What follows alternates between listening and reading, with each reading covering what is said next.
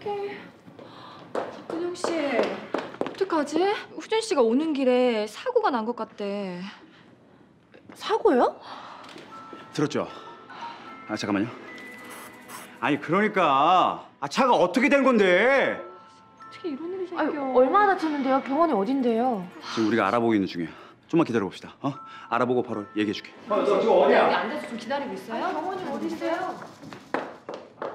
아유, 어떡해. 어떡하지?